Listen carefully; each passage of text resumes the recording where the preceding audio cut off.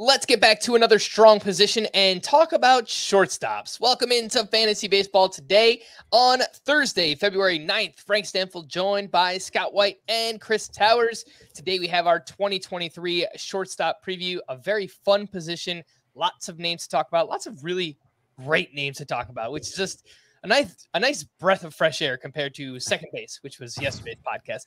Let's start things off with a little outlook and strategy as we have done for each of these. Chris, we'll start with you. How would you describe this position this year? Shortstop 2023.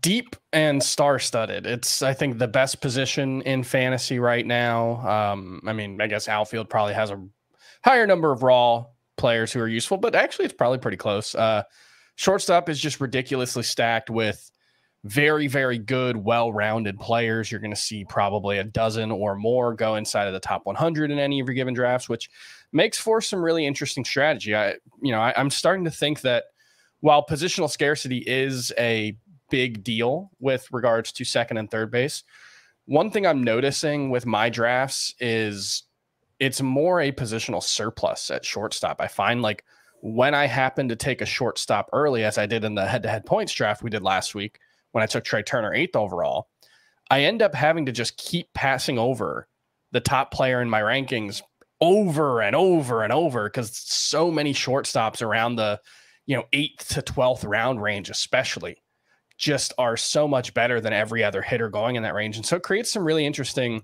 strategy options because you know looking back at that one, I think uh, Freddie Freeman went one pick after Trea Turner probably should have taken Freddie Freeman. I mean, it's a points league, so that might have been the case anyway, but I probably should have taken Freddie Freeman because then I would have been able to get, you know, Freddie Freeman and Xander Bogaerts instead of Trea Turner and Christian Walker or whatever it ended up being. So I think it's it's a position that you may have to make some tough decisions at.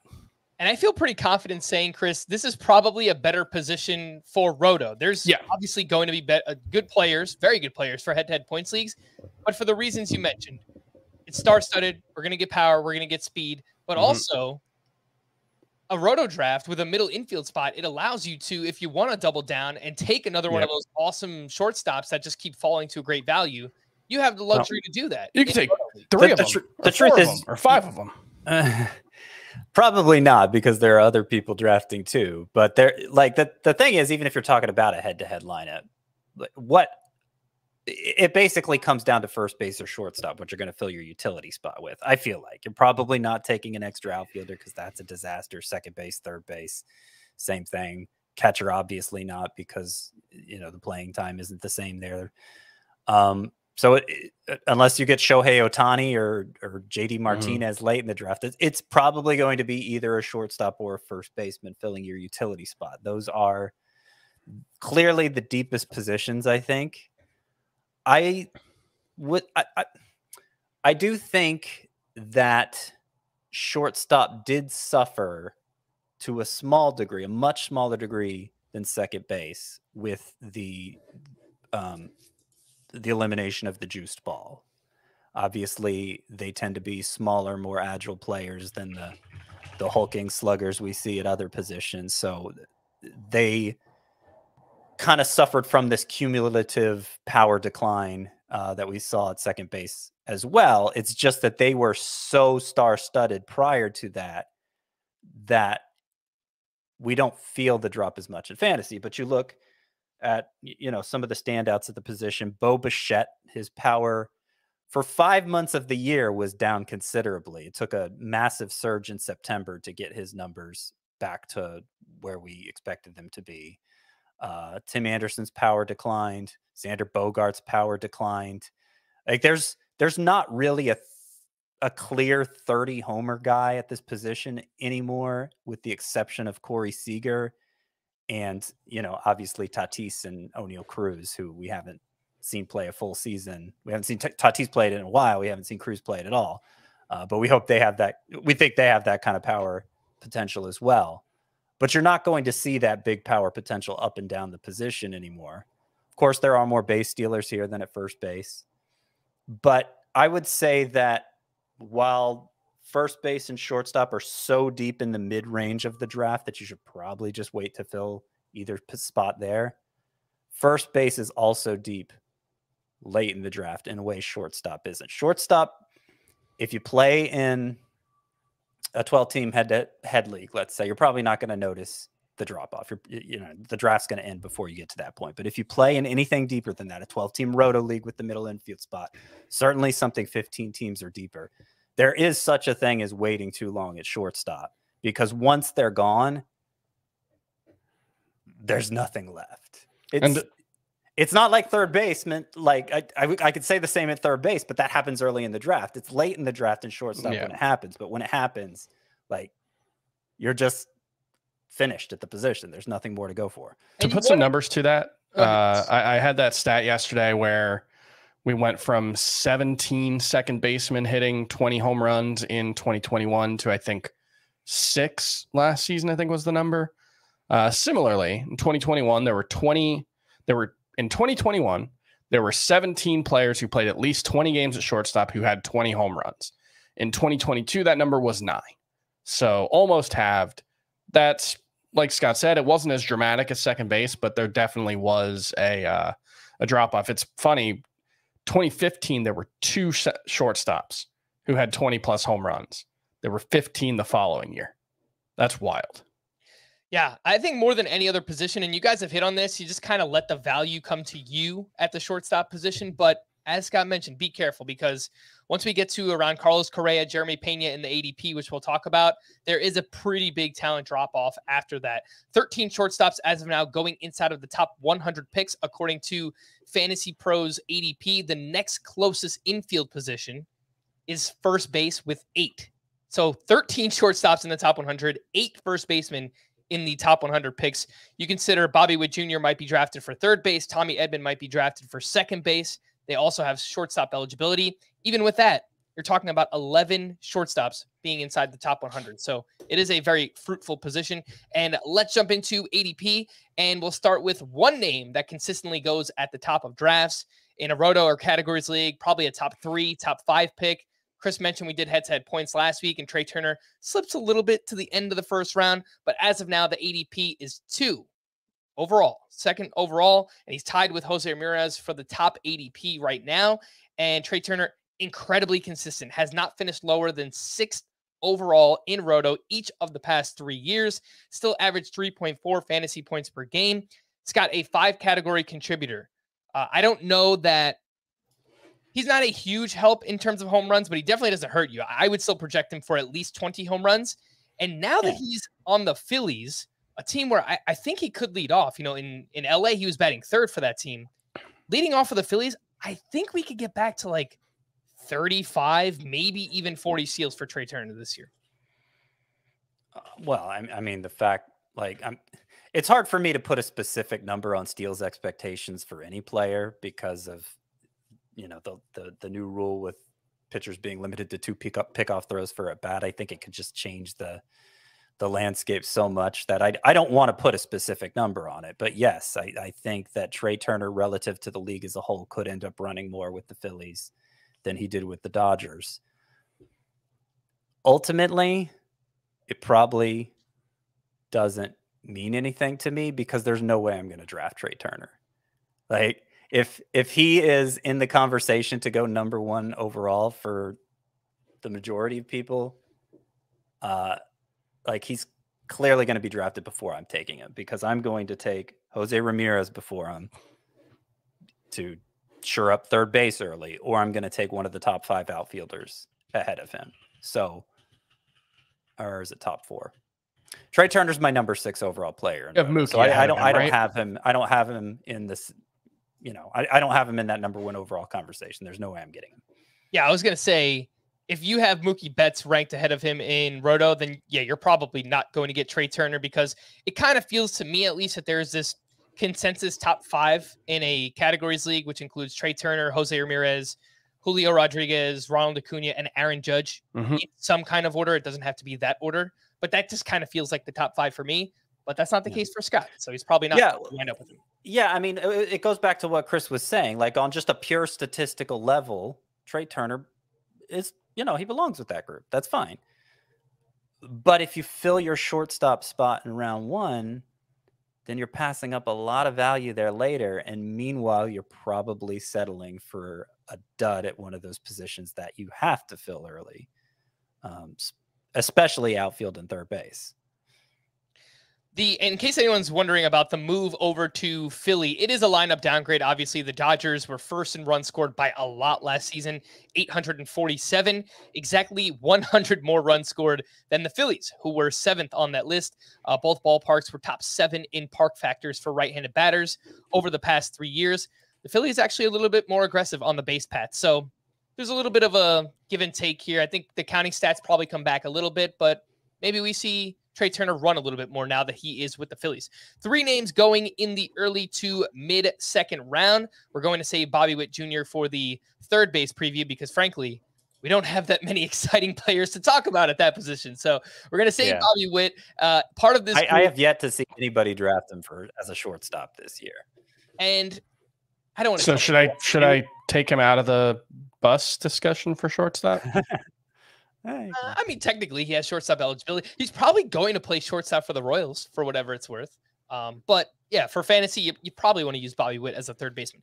Bo Bichette has an ADP of 15.5, and Fernando Tatis has an ADP of 16. So you likely need to decide between these two if you want some power and speed and you want a shortstop early on in your drafts. Chris, it was a weird season for Bo Bichette, uh, one that he really needed a monster September to, to help the overall numbers. From September 1st on, Bichette hit 406, seven homers, four steals, and 1105 OPS in 32 games. But overall, I mean, if you just compare the numbers from 2022 to 2021, yeah, there's not really a lot that was different. You know, I think he was inefficient on the base paths, but – he still kind of just feels like that same player from the year before. This is one of those things where the process of having Bo Bichette on your team last year was very frustrating. Yes. But for the purposes of projecting him forward, I don't really care that the shape of the season was weird, you know, that it was heavily backloaded. Although, to be fair, it was more that he was just dreadful in April, 535 OPS in the month of April from that point on, like his OPS, he wasn't amazing, but it was the September making up for the April rather than the September making up for like the whole season. I feel like he wasn't great the rest of the year, but he was closer to where we hoped he would be outside of April. And generally speaking, when projecting forward, I, I, I pretty much view him like I did last year. I, I didn't really like him as he I mean he was like a top five pick last year, right? I didn't like that. I wasn't yeah, on board little, with uh, that. Yeah, a, de- a, clear first rounder and you know top eight, something like that. Um, but I don't really view him all that differently than I did this time a year ago. I think he's a a fringe first rounder in a 15 team league, and I'm happy to have him on my team. I think the the counting stats will probably bounce back a little bit, um, not to the 223 combined runs and RBI that he had in 2021, but I think he's a threat for 100 of each. The so speed, I'm the speed was a little bit weird, Scott. I mean, 13 steals, eight caught stealing, so was not very efficient, and just 52nd percentile sprint speed for Bo Bichette. So mm-hmm. that's something that's in the back. Well, yeah, I mean, that's what it comes down to for me. I, I feel like Bo Bichette's getting too much benefit of the doubt. Like I, I, you know, obviously I follow other fantasy content producers and I see what they're putting out, and you know they're they're tiering Bo Bichette like with Trea Turner and Fernando Tatis, and I'm like, I, I you know. I think his most likely scenario is probably closer to Francisco Lindor and Corey Seager. If if we can't count on Cor- if we can't count on Bo Bichette being an elite base like a a high end stolen base source like he was two years ago, and considering he was 13 for 21 on steals last year, I don't think we can count on him being a high end steal, steal source. Then what? Well, what makes him so much better than Corey Seager?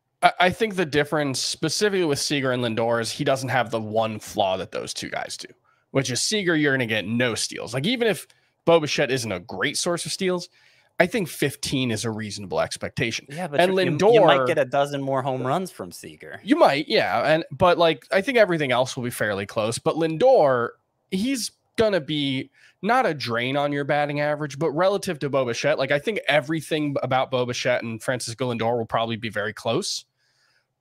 Bo Bichette's probably going to hit 20 to 30 points of batting average better. And he is one of those guys who hits 290 every year. And I think he's led the AL in hits each of the past two seasons because this is one of those times when walking not walking is actually a good thing because he gets a huge that that denominator uh, in the in the ABs column is really big, and so it makes him even more impactful for batting average than he otherwise would be. Okay. I agree with both but, of you. Actually, I, I think Bichette, Scott, you're right. Bichette is closer to Lindor than he is yeah. to someone like Trea Turner. But I also agree with Chris that I, I do think there's going to be a pretty big disparity in the batting average between those two. A 20 to 25 point difference in batting average, let's say. It is an extra 20 to 25 points in batting average from your shortstop worth at the very start of the draft 15 picks. And and not just 15 picks, but the range of 50, the only range of 15 picks where you can get a stud third baseman, let's say. You know, like Rafael Devers or Manny Machado or Austin Riley. If Those guys might all be gone, though. If, if potentially, but, you know, just looking at ADP and, and from my own drafting experience, a lot of times Bo Bichette goes ahead of one or all of those guys. Um, is that worth the, the 20 to 25 points in batting average from your shortstop worth passing up your one and only chance to get a third baseman of anywhere close to that caliber? And I say, no way. like that's that's I, I don't I don't think Bo Bichette really belongs in this discussion anymore. Just like on a on a you know apples to as an apples app to apples comparison. Yes, I prefer him to Francisco Lindor, but not by as much as it seems like the consensus does. And I, I would much rather have Fernando Tatis for for one. Yeah. All right. Well, let's talk about Fernando Tatis. His ADP is 16. So again, you likely have to make the decision between Tatis and Bo Bichette. The last time we saw Fernando Tatis, he finished as the fifth overall player in just 130 games back in 2021. 282 batting average, 42 homers, 25 steals. The StatCast numbers are just ridiculous. 93.9 average exit velocity that was 98th percentile. And when you look at his max EV and sprint speed, both 96th percentile or better. So just power and speed. He's a freak athlete, Fernando Tatis. Since then, he's injured his wrist in a motorcycle accident last offseason. He had surgery to repair a fractured scaphoid bone. He was getting ready to return in August. He got hit with a an 80 game PED suspension, had his partially torn labrum in his shoulder repaired in September, and then had a second wrist operation in early October. Those dang ringworms, you know. yeah, that's how it all started, right, Chris? Uh, to to help that wrist hold up long term. So the upside is immense, gentlemen. But you're I just read off all the different injuries and surgeries and PED suspensions, and we have to wait for him to return on uh, April 20th. Hopefully, he's good to go by then. But Chris, we haven't seen this guy play baseball in like mm-hmm. almost two years, and he has all these injuries to overcome too. It's it's a lot of risk. I don't want to downplay it. It's a substantial amount of risk or uncertainty or variance or whatever word you want to use to describe it. Some of it I, I don't really like. Personally, I don't really hold the PEDs against him. I don't think it's like I think it's unlikely that Fernando Tatis was using steroids the first three seasons of his career, finally got caught when he wasn't playing, and now he's going to be some like greatly diminished version of himself. I've seen that suggested, and I, I think that's unlikely. I think the explanation that he was using steroids to try to get back or PEDs or whatever, like I, I think that tracks. I think he was, you know, trying to get back from a dumb injury, a I, dumb self-inflicted injury. And let me just inter- like, interject, like if even if it is true he was using PEDs from the beginning. I'm not sure that matters well, either based you on tend the to history. keep those gains. Yeah. Yeah. Based on the history of guys coming back from PEDs. But yeah. Uh, the thing is, he might be the best player in baseball. He might be the best player in fantasy. I, I think if he's right, he almost certainly is the best player in fantasy. Just the the the enormity of the skill set, the breadth of the ways in which he helps you. I mean, number five player in 2021, I feel like that almost undersells it because this is what he did in 130 games 282, 99 runs, 42 homers, 97 RBI, 25 stolen bases. He's and and that wasn't like an outlier for him. He was basically that good in 2020 and 2021. The problem is we've never seen him play more than 130 games in a major league season. He had the shortened 2020 season, obviously. 2019, I think it was the the shoulder issue. The shoulder issue was an issue, was a problem in 2021 as well. Hopefully, surgery helped fix that. I, am willing to take him in the second round. I'm willing to take him in the early second round. I think he might be the best player in fantasy from the minute he steps back on the field, but we don't know how he's going to react to all of this. You know, there there were harsh words uh, for him in the dugout uh, in the clubhouse when when the steroid uh, uh suspension was announced. You know, he's going to have to earn his the trust of his teammates and all that stuff that we don't necessarily think about all that often, but matters. The human element is a part of it. But there's no player. I, I, I don't think there's like I guess Aaron Judge, you know, has yeah, has the a, same kind of upside. League, in a points league, yeah, I probably Judge and Tatis are, are contending for number one overall player. But as speaking as somebody who is completely sold on Judge and Roto number one, uh, that would change if if Tatis looks like Tatis when on, he does on, get back. On April 21st, Fernando Tatis might be the number one player in Roto in the yeah. Roto rankings. And I'm I'm pretty optimistic. I would say I'm more optimistic, even though it's multiple uh, events that Tatis is coming back from. I'm I'm more optimistic about his chances of just being himself again than I was about Ronald Acuna at this time a year ago. Because and I think that's you know fair comparison because they're missing. You know, Tatis is going to be missing about the same amount of time at the beginning of the year as we were expecting Acuna to, and they have, you know, similar upside. They've both um, get mentioned as possible best players in, in fantasy at times. And um, eh, they were being drafted in the same range. So I I want to be able to draft more of Tatis in that range than I actually end up drafting him. And I hate to, you know, beat a dead horse here. Wait, are you taking a third baseman there? it's the only chance to get a quality third baseman, and I just can't pass it up for the upside of Tatis. I think the only scenario in which I end up drafting Tatis, talking you know a, a typical snake draft, is if I happen to be fortunate enough to get Jose Ramirez in round one, and then Tatis lasts long enough into round two that I can pair him with with Ramirez. I think that's the only scenario where it's going to happen for me. Okay, but in terms of the risk, Scott, it sounds like if he falls through the right point, you're you're okay doing it, drafting Fernando Tatis. Yeah, I mean, yeah. Okay. Yeah, I, look, I'm trying to think of another scenario where it could happen. So let's say in round two, Machado, Devers, and Riley are all already gone. It's a shallower league, so I'm not quite so willing to reach for Nolan Arenado that early. Maybe I can hope he'll last around my round three pick. Then I might take Tatis in that scenario too. But it's it's an exciting pick to make in round two for sure. Uh, and we're actually going to get to see him in spring training, unlike mm-hmm. Acuna. So that I don't know how long he's going to last in round two. To be perfectly honest, he might by the by the by the uh, peak of draft season, Tatis may be a surefire first rounder. Yeah, I think we see him hit a couple home runs in spring training. If he looks like himself, he, he's probably pushing or or even getting into that first round. That is Fernando Tatis. I agree, Scott. I think it's probably the cop out answer for me. But the more the shallower the league is, the more likely I am willing to take the risk on Fernando yeah, Tatis. yeah, Just, always risk is much easier to take in shallower leagues for sure. Yeah, 10 and, and 12 team head to head points leagues, anything like that. Let's drop down to the third round where we find just one name, and it is Francisco Lindor with an ADP of 29.5 paid off in a big way. He finished 12th overall in Roto, 3.2 fantasy points per game. People remember last year, if you were uh, if you were here with us, if you were listening, I loved Lindor and I drafted a lot of Francisco Lindor.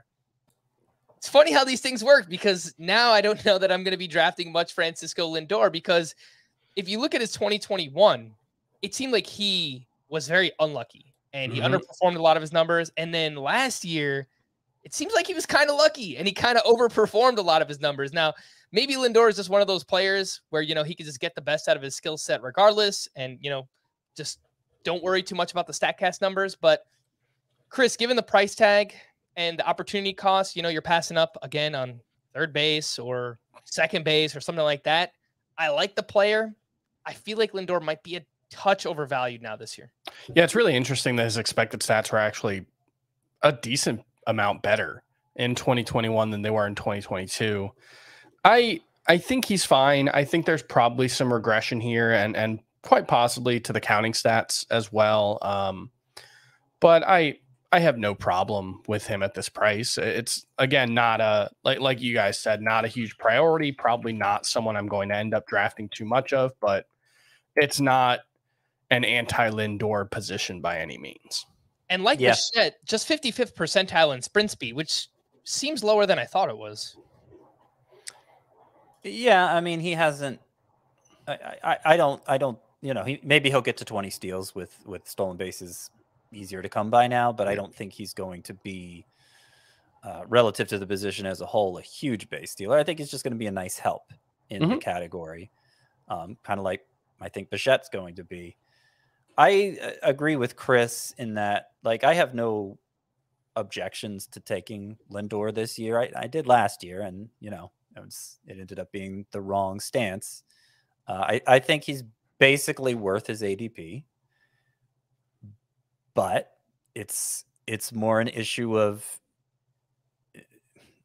you know fitting him into my needs. Like just just his his place on the draft board is um makes it a tough fit at the point where he's going. Like if things play out the way I want them to, I'm either taking a second baseman where he's going, or uh, I'm taking an outfielder, or maybe even I'm taking a, my first starting pitcher. I don't know, but I'm probably not looking to take shortstop at that point. So don't see myself with a lot of Lindor. Let's drop down about 30 picks. One name going in the fifth round. That is Corey Seager with an ADP of 59. Guess what? He finished 59th overall in Roto last year.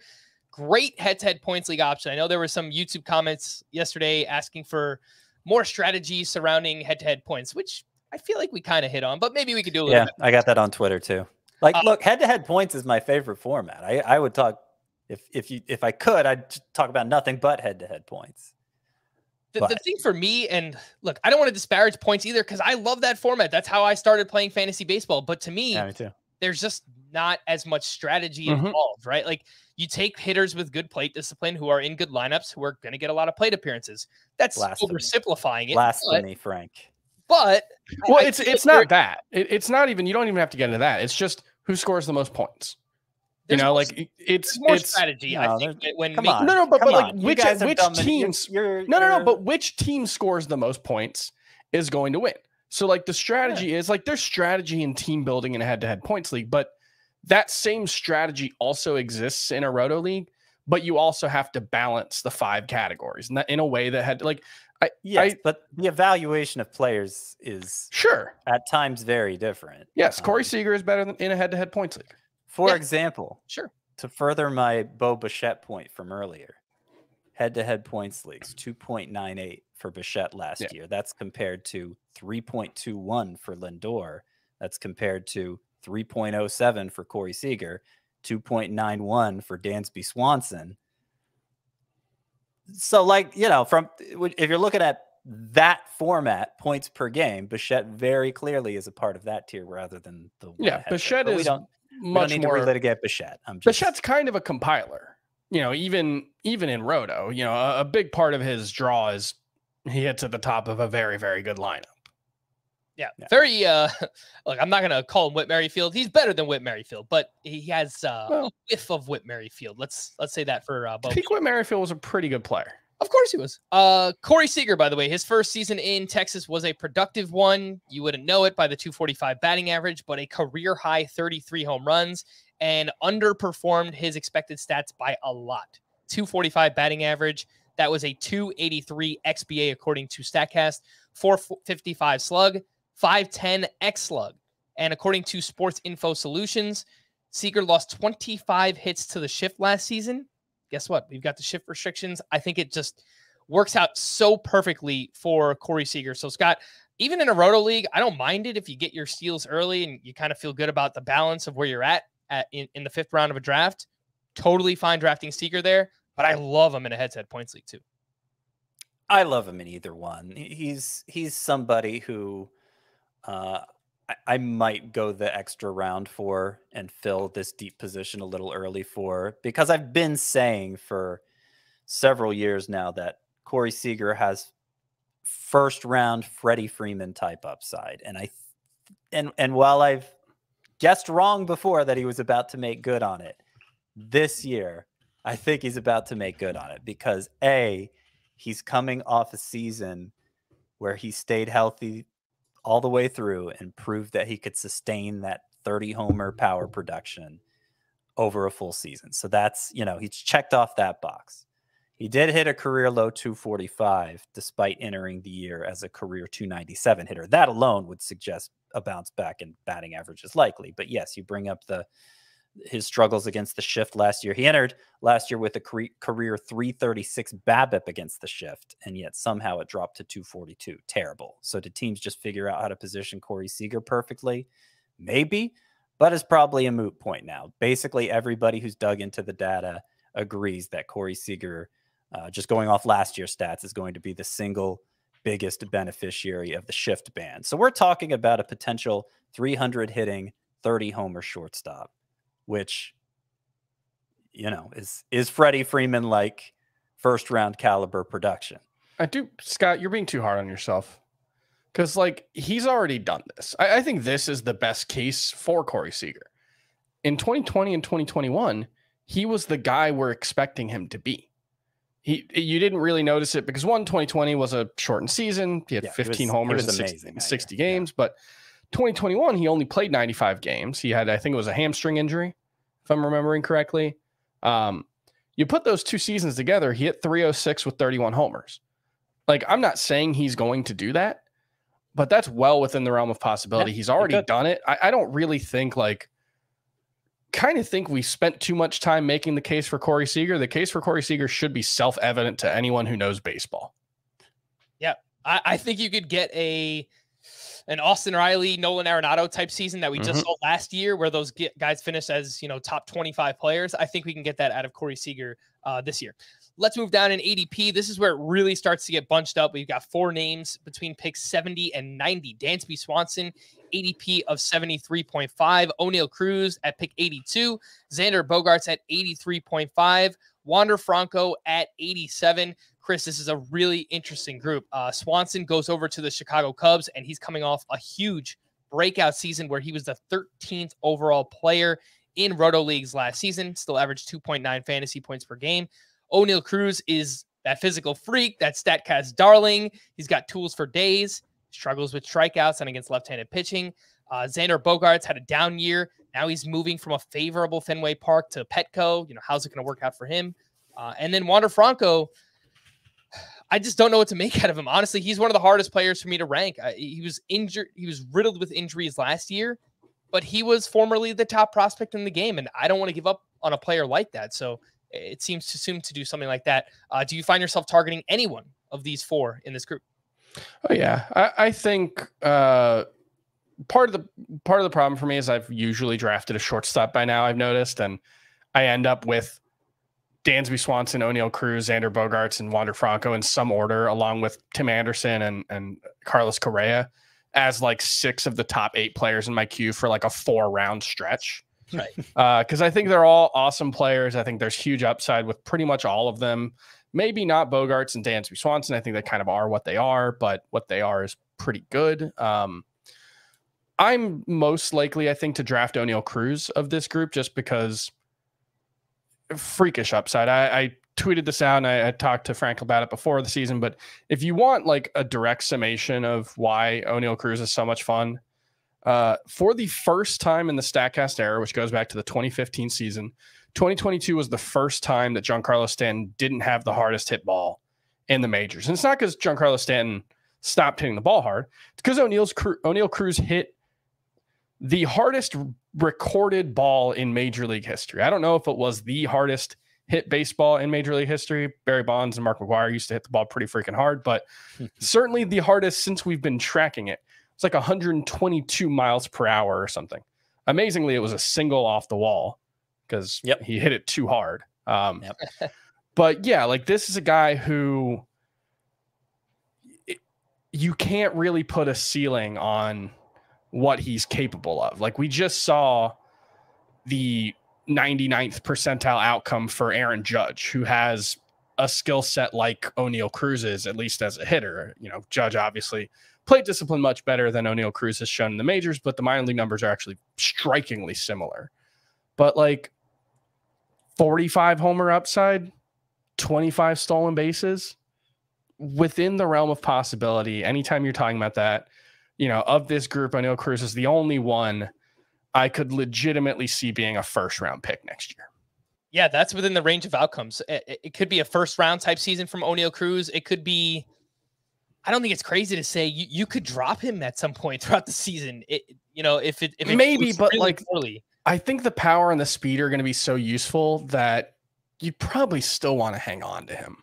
Uh, honestly, yeah, thirty-five percent strikeout rate, and he was terrible against lefties. Yeah, but he still Even- hit 234 last year, which that's bad.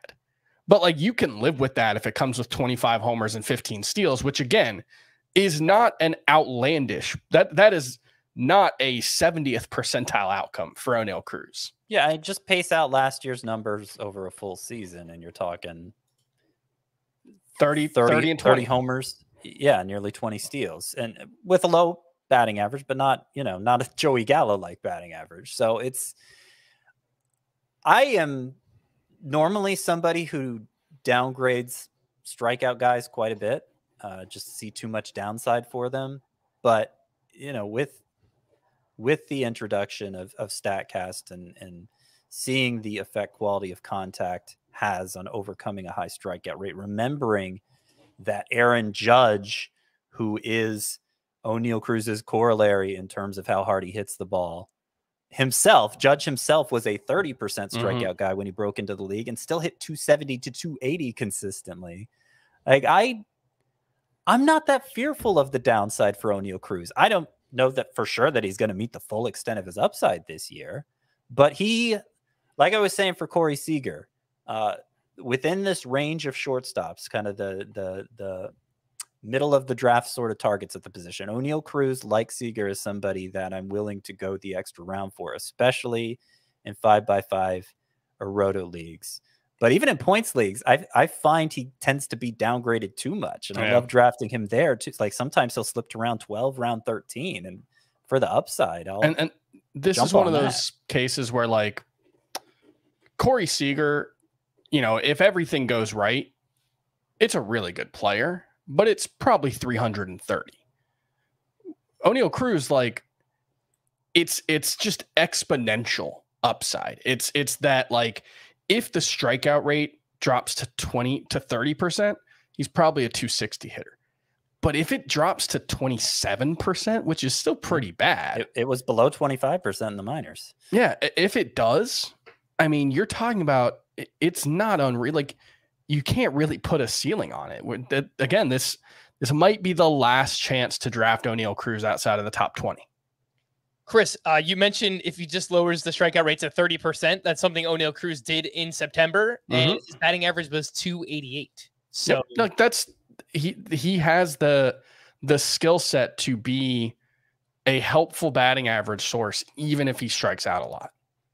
Scott, I'm likely to fade uh, Dansby Swanson and Xander Bogaerts, two names here who are in new locations. Swanson, it's you're you're buying off of a career year. The price isn't terrible at 73.5 as the ADP, but going from the Braves stacked lineup to the Chicago Cubs now, just kind of worry about that. And he kind of fell off in the second half last year too. Bogaerts, there's a lot of underlying numbers, Scott, here that are not great, specifically StatCast and how hard he hits the ball. The only re the only point that I could make in favor of Bogaerts is the lineup, man. I mean, just hitting fourth for a lineup that includes Tatis, Soto, and Manny Machado is absolutely tantalizing. So I'm probably out on both, but I guess that's the semi case for Bogaerts. Yeah, I, I mean it's. I, I wouldn't say I'm out on either. It's just I'm basically as high on Willie Adames as I am on these two. I'm basically as high on Cor- Carlos Correa as Yep. these two, and they go a lot later. They tend to go a lot later. So it like I, I if it happens to work out that somebody else takes Willie Adames or Carlos Correa ahead of Swanson or Bogaerts, okay, fine, give me those two. I I, I like them better in a you know on pure ranking level, but you know I, I'm probably not going to end up with that much of them. Xander's Xander's such a weird player because like he is so consistently inconsistent. Like he is consistently one of the six best shortstops in fantasy, like pretty much every year. But it's like he's a different player every year. Like some years he's uh, he's usually really good in batting average, but some years he's a good power hitter. Some years he drives in a bunch of runs. It's like it, I like him because there it feels like there's a lot of contingency plans with him. Like there aren't a lot of ways things can go wrong for Xander Bogaerts. Whereas like Dansby Swanson, I feel like uh, you can definitely see that like if the strikeout rate from last season remains and he takes a step back with quality of contact, like he definitely doesn't have that consistent track record. I will say, you know, since since the people want more points league analysis, Xander Bogaerts is the better points league option, better plate discipline. Uh, where he falls shorts in home in home runs, he'll probably give you a lot of doubles. Mm-hmm. And Swanson is the better roto option, clearly the better base stealer of the two, and I would say the better be- better power hitter at this point of the two as well. Uh, let's just quickly talk about Wander Franco here. Dealt with a quad injury that popped up in April. I'm not sure that he was ever right after that. I, I feel like I watched games where he was he just didn't look right. He didn't look like himself, and I feel like you know an- announcers would allude to it too. I had a hamate bone injury in July, so pretty much a lost season for Wander Franco. But Chris, early in the season, it, it kind of looked like he was breaking mm-hmm. out. I mean, in April, a monster April, th- 313 batting average, four homers, eight doubles, three steals, a 90.7 mile per hour average exit velocity. I just don't know if was he about to break out and the injuries kind of knocked him off, or was it just, just some kind of small sample flukiness? And that's kind of where I get confused on whether to draft Wander Franco or not. I think the answer is it doesn't really matter because he's gotten cheap enough where it's worth betting on the upside now. I don't necessarily make that bet all that often, but I have drafted Wander Franco a couple times this year, whereas I don't think I drafted him at all a year ago when he was going, you know, 30 or 40 spots higher.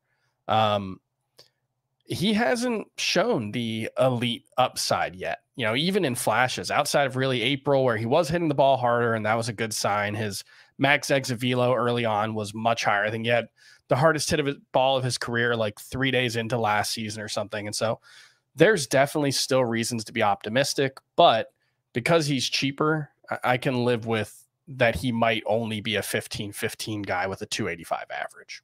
All right. Well, now, hang on. Ahead, hang on. I got to do this. Uh-oh. I'm going to get annoying about this. Go ahead. But Wander Franco is more than any other shortstop is the player whose value improves the mm-hmm. most mm-hmm. in points leagues. His plate discipline is phenomenal, especially the strikeout rate. I mean, he he's it's, it's like you know he's he's basically Juan Soto as far as that goes. Nine, he doesn't walk that much, but yeah, nine point six percent K rate. That would have been third best if he qualified. Right. So tons of contact, and that helps make up for any shortfalls in the power department, and more than makes up for it. I also feel more confident now than I did a year ago that Wander Franco is going to be a pretty good base stealer. Uh, he he had eight. He was eight for eight in steals in only 83 games last year. If you you're you know you're translating that to the new stolen base environment that I expect to see, it's a good chance he's a 20 steal guy. Uh, so he might be a 15 homer, 20 steal guy with a you know good batting average because he strikes out so little. That would make him better than Xander Bogaerts probably. So uh, talking to five by five context. Again. The the counterpoint to that would be if he doesn't take a big step forward as a as a hitter, like especially as a power hitter. Are we talking about the difference between him and Nico Hoerner being four home runs and everything else being kind of similar? I clearly he has more upside. That, I think Nico Hoerner is an incredibly limited player, but like right the strikeout rate very similar. Eleven percent like, for Nico Hoerner last season. He hit 290, I think. Yeah. Um, 20 steals in not full playing time. So like the the downside for Nico Hoerner, I think, is wider because he might lose his job. Wander yeah, Franco's not going to. But Wander Franco's downside is basically Nico Hoerner. Yeah. Yeah, I think that's fair. It's just the the most likely outcome for the two of them might be fairly similar as well. Uh, I was gonna say I think Nico Hoerner's season from last year might be close to his ceiling. Maybe I'm selling him short, but it feels like that is No, I think that's fair. maybe that's close to Wander Franco's floor, right? Like if everything kind of like just falls apart for Wander Franco, he's probably Nico Hoerner, but the upside still is is Well, massive for Wander Franco. I mean, what he's done so far is not that impressive. You No, know, it is no, worth establishing that like Wander Franco's floor is high, but it's not, I don't know, like 13 home runs and 10 steals in, in 153 games so far. We should we should properly quantify what one like Wander Franco's kind of been Jean Segura so For, far. for a guy who still hasn't turned. Yo, yeah, he's not 22 yet. Yeah, Yeah. no, the the he- he's I think the gap between his floor and his 50th percentile outcomes probably pretty slim. And then there's a much higher ceiling as well. I think that's the case for Wander Franco. All right, let's take a break. We have one more pod this week, a mailbag that's coming up tomorrow. So make sure to tune in. That will be myself and the Chris I, the Towers, and the Welsh. Also, make sure to listen to Fantasy Baseball today in five. It is a it is our five minute podcast, and we're going to start doing some player profiles in that feed. So if you want to hear about a certain player, you can email us a name at fantasybaseball at cbsi.com. Put player profile in the subject line and let us know who you want us to talk about or drop a five star rating on Apple and leave a name in the review. Let's take a break and we'll be back right after this. Why are we stopped? Something bit you. What keeps you up at night? has to kill you before the next full moon. Well, I don't think it's a seven foot tall monster. But You're not so sure it's a bear either. We've never killed anything. That's why you've never had it back before. Italy's best clubs and brightest stars bring show-stopping skills and unbelievable thrills in the fight to the finish for the Scudetto. Stream every Serie match live on Paramount Plus. Let's get into sleepers, breakouts, and bust for the shortstop position. Gents, we have a lot more names to get to, so please let's make it fast. I do like that there's a lot of overlaps here. So, Now, Scott, let's just do two hours. honestly, we could probably do three on this position. Scott, you're up. Sleeper at shortstop. All right, my sleeper is the same as yours, Frank. It's eh. Ezequiel Tovar of the Rockies, who, frankly, I'm surprised he's going as late as he is in drafts because he is a high end prospect who already got his feet wet in the majors last year, which makes it much easier to buy that he's going to make the opening day roster. And it, for Colorado. So he's going to have the advantage of, of playing his home games in the BABIP boosting wonderland that is Coors Field. Um, and considering he was a, let me look this up, he was a 319 hitter between double and triple A last year with, uh, you know, good, uh, good contact rate. In that environment, like it, how is he not going to hit 300? You know, and there are questions about whether his home run pace 14 and 71 games whether that'll translate to the majors. But it certainly helps his case if he's playing his home games in colorado. And by the way he was also 17 for 20 on stolen bases in those 71 games. So i think especially given that home environment there's potentially five category potential here for Tovar. Power is the most questionable of those five categories, and I still say that's the most important uh, thing a hitter can do in fantasy is hit for power. But like if if you do miss out on that loaded mid tier at shortstop that includes the Xander Bogaerts and Carlos Correas and Willie Adames, all of them, like Tovar is the one you want to target because I think of, of those remaining after that group, he's the one with with the most upside and the best opportunity to make good on that upside. Scott, you're right. I mean, he, he's simply just going too late for an everyday Rockies player, not even mentioning the upside. So then that only adds to it. I mean, the ADP is 288, so it's just so late. Go ahead, Chris. Yeah, devil's advocate uh, because I I have him ranked 115 spots higher than his ADP, so I'm right there with you. He's a top 20 shortstop for me in the rankings, but the Rockies have not earned the benefit of the doubt. Ezequiel Tovar is not considered a dramatically better prospect than Brendan Rodgers was coming up. The Rockies really haven't developed an average major leaguer among their young players since Trevor Story. So, like, there might just be something about that team that is just fundamentally broken. That being said, everything you guys said is, is 100%. Like, Bre- man, Brendan Rodgers he hit 322 in AAA, which is, you know, it was Albuquerque, so inflated, but Coors Field is also inflated, and he has a 266 batting average in the majors so far. So it just, Yeah. I mean, prospects sometimes flop. I don't know that it's Right, to yeah. Tovar, but prospects flop. The Rockies have not earned the benefit of the doubt. If anything, they've probably earned whatever the opposite of the benefit of the doubt is the benefit of the skepticism, perhaps. Um, but no, I'm with you. I, I, I think he's well worth drafting inside of the top 200. All right, Chris. Well, we'll stick with you here for another sleeper. Who you got? CJ Abrams, who it feels like he's been around for a while, but he's I don't think he's turned I don't think he turns 22 until May.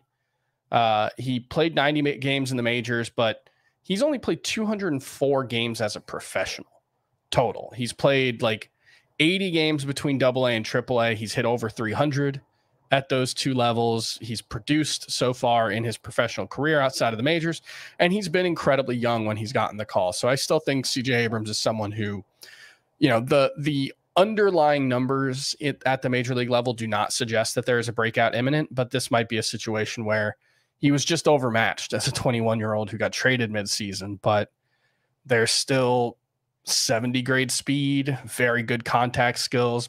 People think he will hit for power eventually. So definitely someone I think he's going even later than uh Tovar. So I, I think CJ Abrams is actually he's going a little earlier, at least in NFC drafts, which is surprising. I would rather have Tovar, but uh, both of them are in like the 20-ish range for me at shortstop. I, I like taking a late round uh, flyer on both of them. Yeah, even in fantasy pros, Abrams is going at 268.5, so just ahead of Tovar. I agree. I'd rather have Tovar, but I do like Abrams. If you play in a, a categories league and you need a middle infielder, you need speed and maybe a little batting average later on. Uh, it's an interesting skill set. he's he's, he's got to up up that steals rate if he's gonna like. Yeah. Abrams' best attribute is his speed. So if he Yeah. doesn't take advantage of it the way he didn't as a rookie last year, then yeah, but he's he's never going to live up to his upside. But hopefully he, will. he does have 33 stolen base attempts between double A and triple A in just 80 games. So, you know, Yeah. that's he, he ran there at least. Yep. Small sample, but final 28 games with the Nationals, Abrams hit 314 with five steals. That is a 26 steal pace over 150. We'd probably need even more than that, honestly. Like 30 plus steals would be an ideal outcome for CJ Abrams. Scott, give me a breakout at shortstop. Uh, Oh, well, come We on. already talked about this name, so I wanted to go last because here's what happened. So before the show, you want us to put in the rundown our picks for each of these, and I was I, I went last, and I was thinking, okay, I'll I can't decide between Oneil Cruz and Corey Seager, so I'll let you guys pick, and whoever you don't pick, that's the one I'll pick. Well, Chris, you picked Oneil Cruz, and Frank, you picked Corey Seager. Who we I'm already just talked about. Oneil Cruz and Corey Seager. Um, I do want to add one little fact about uh, Oneil Cruz that I didn't get to earlier, and that's well, well, Chris mentioned he has he's the owner of the hardest hit ball in Statcast history. He also already has three batted balls of more than 118 miles per hour. Aaron Judge in his career has only 14 balls hit that hard. Yeah. So Cruz, less than a full season, already up to three. Judge, who by the way is second all time with those 14, a distant second to jump. Yeah, Stan has like 60. He's Yeah. a freak. Uh, but you know the, the kind of pace Cruz is on, maybe he Yeah. could challenge Stanton. So yeah, I mean, just just incredible quality of contact for this guy. Also, I believe he had the did he have the hardest infield the the highest velocity infield throw last season as well?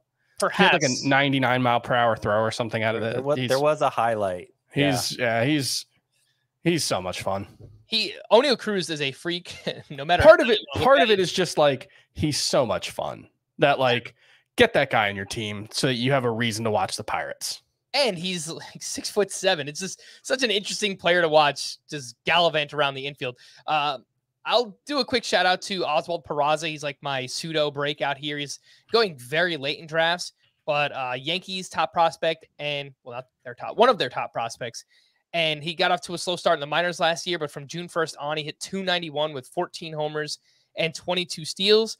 I think he's going to be their starting shortstop on opening day. You know, there is some risk because if he doesn't perform, he'll get benched. But That's It's- that's the problem is he's not even the best shortstop prospect in his own franch organization. this is uh, based on things that I've read. I don't know that Anthony Volpe is going to stick at shortstop. Maybe that's Sure. unfair to him. You know, maybe he's more of a second or third baseman. Regardless, I think it could all work out. If Peraza hits, he's going to play. Yeah. And if he hits, you know, we could see like 15 homers, 15 steals, or even 2020 if it all works out this year. So just wanted to throw his name out there. A bust at the position. We'll start with Chris. Uh, Bobby Witt, who we'll talk about more at third base, but it's just it comes down to the price. If he goes in the first round, I hate him. If he goes in the late second or early third, like he does a lot of the times when we're drafting, I, I think he's fine. Um, Yeah. he's a volatile player who has a relatively high floor, which is a weird combination. It's you know sort of Oneil Cruz ish, um, but I think you know. Witt is being drafted in some leagues, specifically NFC formats, where his ADP is like eight that's the ceiling. Yeah, that's uh, that's honestly, I don't, I don't remember a first round pick that seemed more ridiculous to me than than Bobby Witt. Well, yeah, because you look at like I, I went through and it was like Bo Bichette and Fernando Tatis, and there was someone, one of the other. There's always one guy who gets pushed up way higher than their production would make you think. And Bobby Witt's been by far his rookie season was by far the worst of the three. So I I I have trouble if it's a first round if it's truly a first round price, which depends on who you're drafting with. Mhm. I can't justify it. If it's you know second or third, then it's fine. We'll we'll get into him more at third base, I'm sure, because some people are probably wondering why. We'll we'll get into it at third base. Yeah, that is Bobby Witt Jr. Uh, for me, I have Dansby Swanson as a bust. I already kind of talked about it. Don't like buying off the career year, new team, first year uh, in a big contract as well, a new environment. I, I kind of look to fade those players as well. Look at someone like Javier Baez from last year, or even Lindor his first year with the Mets. So just kind of worry about those players. And Scott, speaking of which, you also have one of those as your bust. yeah, Xander Bogart. So I mentioned at the top that he was uh, one of the shortstops who suffered most from the elimination of the juiced ball. And it makes sense looking at his exit velocity. He's pretty middling, and, and he was somebody I worried about coming into the season. Ended up only hitting 15 home runs for the Red Sox. 10 of those home runs were at home, with obviously the very short porch in left field.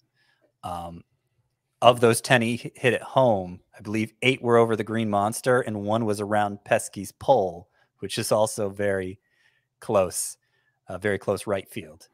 Um, so now he's going to San Diego, which I don't think is going to be nearly as advantageous. It's kind of on the opposite end of the spectrum from Mhm. Fenway Park in, in terms of its benefits for right handed hitters. I think uh, just sort of his natural hit tool, Xander Bogaerts is, is probably a safe bet for batting average still. And as you pointed out, Frank, he's in a good lineup, so RBI runs should be fine.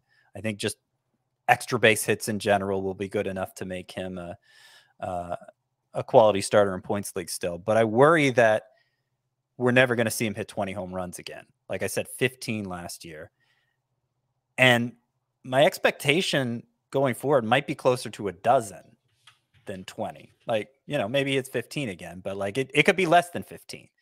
So uh specifically in five by five leagues, I I wonder if Xander Bogaerts um you know, he's going well ahead of Carlos Correa, but does he even belong in the same tier as Carlos Correa? I think that's a fair question. I, I'm looking forward to a 11 homer, 110 RBI season for Xander Bogaerts. that would be something.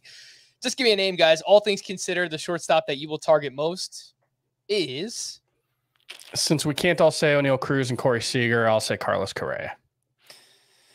Probably going to be Willie Adames just from a tier standpoint. Like he's the I'm giving you more than a name. He's the shortstop who uh who I think is in that giant mid-round tier who tends to go the latest. Yep. And it's Corey Seager for me, but I agree, Chris. I, I often wind up with a lot of Carlos Correa just kind of stacking all the other positions and waiting for him because you know he's kind of the last one there. Uh, shortstop prospects that you need to know for this year. We already spoke about Ezequiel Tovar with the Rockies and Oswald Peraza with the Yankees. It's got three more names here. Anthony Volpe also with the Yankees. Elly De La Cruz with the Reds, who was a big riser last year. Monster power and speed. And Jordan Lawlar, who was a former first round pick in 2021.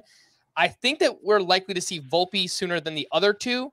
Yep. But I think maybe like in August, September, call up for for La Cruz and, and Lawlar. Yeah, Volpe could be up very early. I think specifically in deeper roto leagues, he deserves late round looks. Uh, like I- I don't think it's outside the realm of possibility he can make the opening day roster, though the Yankees do have a lot of infielders, a lot of older guys, a lot of low upside guys who they'll probably want to give the first shot. One like I, I totally expect by season's end it'll they'll be playing Peraza and Volpe up the middle, or maybe Volpe at third base. That's uh, outcome for him. Big steals guy, and uh, good power too. Somebody who, if you look at the minor league numbers, you might be underwhelmed because he had a low batting average, was terrible at the start of last year. Mhm. But um, his, you know, there's a lot more enthusiasm for him than you might guess from the numbers. Uh, Elly De La Cruz, I want to mention him too because like he, he's so much like uh, Oneil Cruz. Like he's the next Oneil Cruz in terms of being a freakishly tall shortstop who just has insane batted ball metrics and ton of athleticism. Going to hit for a lot of power, a lot of speed, but the strikeout rate is scary. Um, so it, it hasn't mattered in the minors. He's killed it. Like his production is even has been even better than Cruz's there. But you know, we'll we'll see how the rest of his development goes. All right, let's get back into ADP. We have two names going between picks 90 and 100. Willie Adames at 94.5 and Tim Anderson at pick 96. Chris, I like both of these names a lot. It seems like they're they always just kind of like last later on into drafts, and I think both are extremely serviceable. Last year, Willie Adames had uh, 30 home runs. Only 23 batters hit 30 or more home runs. Only two came from shortstop. That was Adames and Corey Seager. Tim Anderson, the issue is that he has not been able to stay healthy. Mhm. He missed 32% of his available games since the start of 2019. But when he was healthy last year, the first two months of the season, he hit 356 with five home runs and eight steals. That's still a really productive player. We just need him to stay on the field. So uh, I like both of these guys a lot, Chris. Yeah, Anderson played what 79 games I think last year. Yep, 79. So you just double his numbers 12 homers, 26 steals, and the underlying metrics suggest that he was actually quite a bit better than the 12 home runs would make you think. So I don't really think that there's much concern about him as, as far as production. If anything, he's been so reticent to steal and he's been such a, a high efficiency stolen base guy that he's one of the guys who I could see really taking a big step forward in stolen bases with the new rules. Um, it's just it just comes down to health and he hasn't played a full season since 2018. I don't think you expect him to play a full season at this point, but if there's a position to take a chance on a guy like this, it's shortstop. So I, I think he lasts too long in nearly every draft that we do. Scott, anything you'd like to add? I know you like Willie Adames. I do like Willie Adames, and I mean, you mentioned his points per game average is right up there with you know some of the studs at the position, Xander Bogaerts, Dansby Swanson. I I put him in the same tier as them. I do Tim Anderson as well. I think Tim Anderson uh, specifically um, stands out in, in five by five leagues over points Mhm. leagues because the plate discipline isn't very good. But they're both part of that giant tier for me, and I'd be just as happy with them as um, you know some of the others we've mentioned, Carlos Correa, et cetera. All right, let's drop down to picks 110 through 120. We see Carlos Correa with an ADP of 110.5. What an eventful offseason it was for Carlos Correa. He was a Giant, then he was a Met, and now he's back to the Minnesota Twins. Jeremy Pena has an ADP of 114.5. Uh, Scott, I think I'm much more likely to draft Carlos Correa than I am Jeremy Pena, there is just something about Pena. He just kind of has that it factor. I don't know if it was watching baseball in the postseason and seeing how he just kind of went off there and ALCS MVP, World Series MVP, a gold glove as a rookie. And I'll point out Jeremy Pena, before he got hurt last year, he went on the IL with a left thumb injury in June. He hit 277 with nine home runs and six steals. That is a 25 homer, 16 steal pace over 150 games. He was not anywhere close to that player once he returned after that. So I still think there's a lot more upside, but uh, Pena much better in a categories league than he is in a points league, Scott.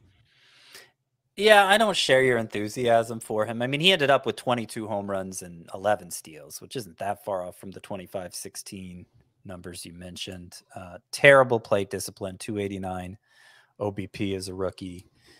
And I don't really see that improving. I don't think his quality of contact is good enough for me to picture an enormous ceiling here.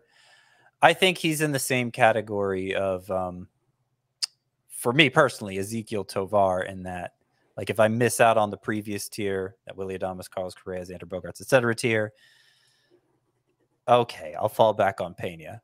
Also, another player who big difference in his value, roto leagues versus head to head because of that terrible plate discipline. He's he's junk in points leagues. Chris, we talked about Correa a lot this offseason because of all the various emergency podcasts. Uh, one thing we constantly brought up was the 70 runs and 64 RBI. Mhm. They just don't mirror the type of player that he was, as productive as a hitter as Correa was last season. So, assuming you know any of the Twins could stay healthy in their lineup this year, I am expecting a full bounce back in, in terms of the runs and RBI production. Yeah, I'll take the over on both. Um, I, I think he'll probably be closer to 90 than he is to the numbers he had last year in both categories.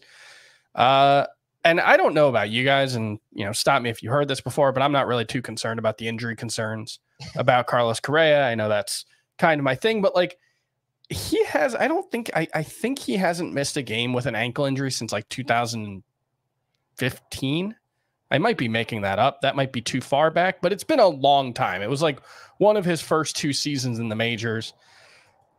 The concern here seems to be the long term stability and health of his ankle, not necessarily that he's going to mess it up this year. He could, you know, but I generally don't have too much concern about that for 2023. I guess there's a little bit of elevated injury risk, but like, I don't know if this change should change how we view him in the short term. I think he's a very good player. I don't really understand the gap in his price here. I think it's even bigger in uh, NFBC leagues, if I'm remembering correctly. Yeah, Yeah, one nineteen point seven. I just, I think he belongs with Xander Bogaerts and Dansby Swanson. Like, I don't really see that much difference between him and Dansby Swanson. Swanson will steal some bases, but I think Correa might be better than him.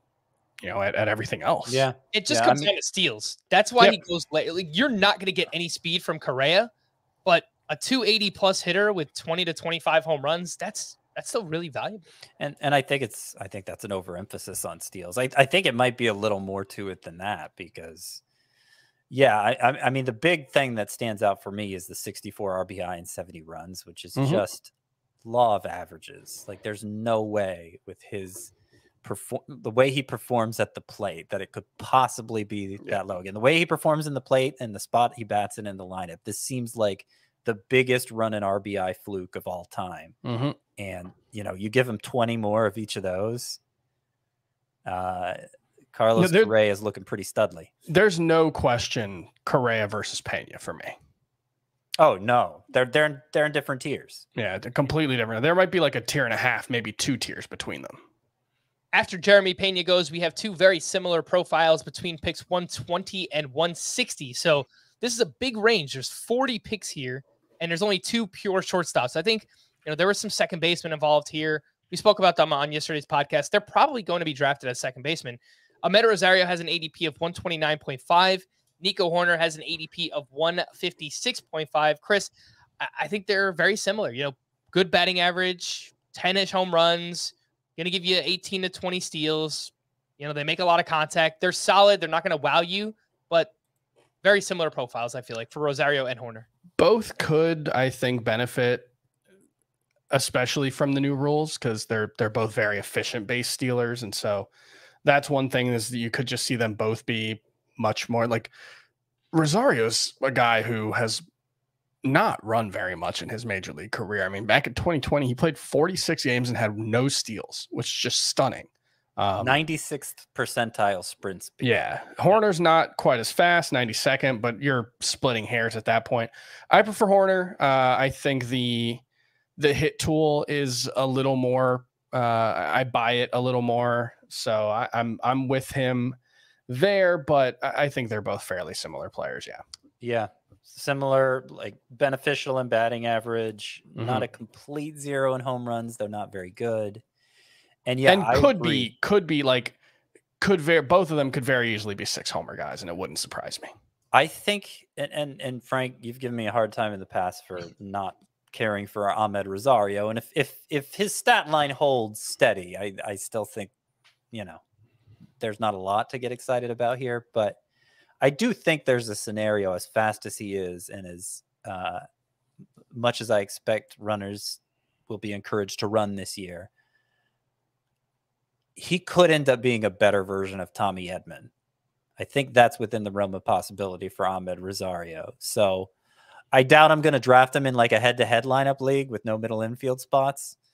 But if you're talking about a roto league with that middle infield spot, you know, if, if, you know, if I if I don't fill that middle infield spot early enough, then I'm totally cool with taking Amed Rosario or Nico Hoerner at this price. Scott doesn't hate Amed Rosario after all. Who would have thunk it? He's just he just kind of gets it done. 67th overall in Roto last year. The ADP is 129. So just seems a little disrespected for Amed Rosario. Uh, we've got two names going from picks 180 to 200. Javier Baez with an ADP of 189 and Jorge Mateo at 195.5. Baez last year, a terrible first season with the Tigers. He hit 238 with 17 home runs, nine steals, and a 671 OPS.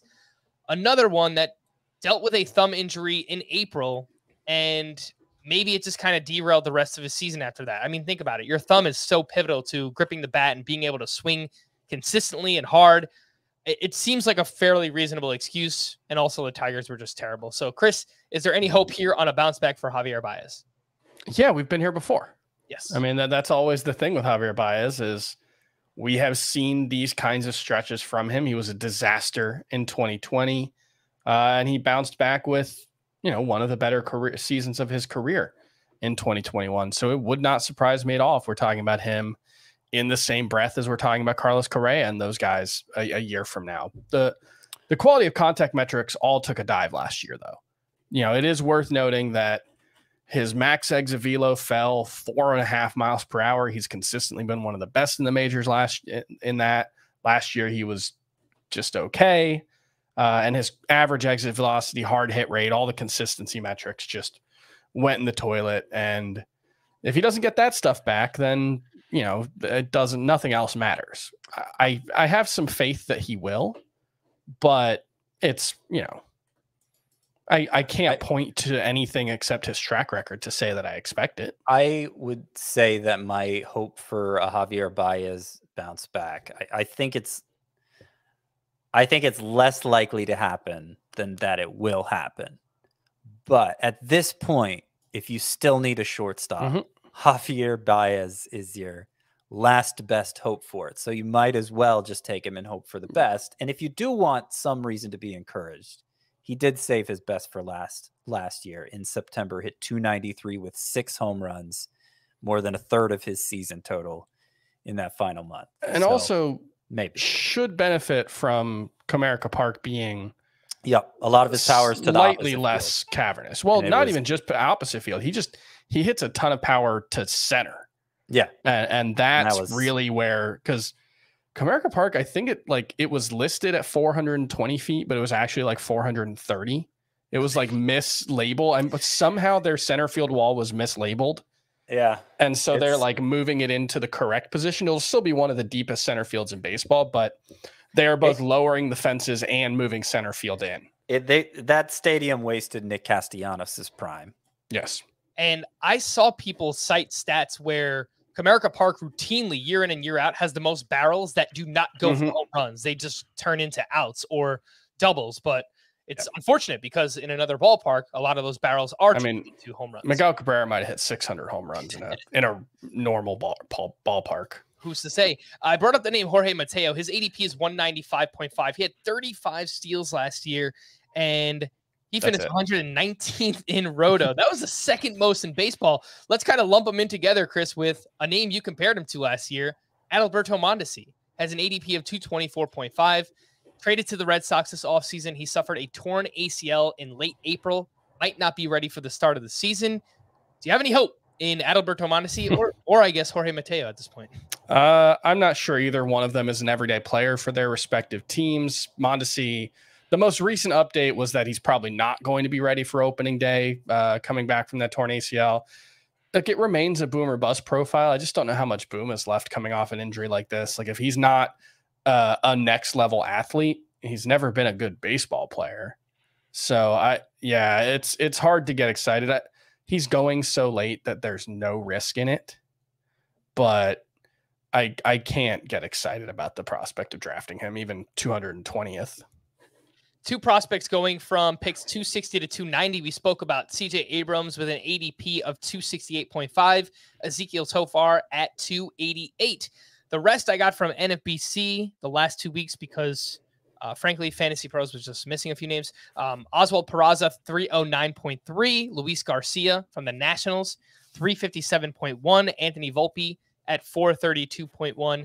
And Elvis Andrus, who remains unsigned, a league winner last year, like a career renaissance in the second half. He was performing like you know a, a- first round player. He was awesome. He doesn't have a team right now. Uh, Scott, very deep names, but Peraza, Luis Garcia, Volpe, Elvis Andrus. Slight exaggeration there with Andrus, but he was certainly started in most leagues, I would assume, Scott, in he was September. he was really really good. I was, you know, he had like 270 with the White Sox, but yes, it was it was worth starting him in fantasy. Um, yeah, I mean, clearly, it doesn't look like he's going to be in a position for at bats to begin this season, so no reason to draft him really. And while I got excited about Luis, Luis Garcia at times last year, the final product was pretty underwhelming, and I, you know, I, I can't really muster much enthusiasm for him on draft day. The two Yankees here are really where I'm looking, especially Peraza, since you know he's much more likely than Volpe to make the everyday roster. I think Volpe has more upside overall, but Peraza's minor league production was pretty impressive in its own right, and um, you know we'll see how much time he ends up getting with Isiah Kiner Falefa and Gleyber Torres up the middle. Obviously, Kiner Falefa is the one who you know could could stand to get out of the way for Peraza. Um, I think it's likely enough that he'll claim the spot early enough that an ADP outside the top 300 is way too low. Way too low. We need to we need to draft Peraza earlier than this. I agree completely, Scott. Kiner Falefa, get him out of here. We're gonna wrap there for Scott and Chris. I am Frank. Thank you all for listening and watching Fantasy Baseball today. We'll be back again tomorrow. Bye bye.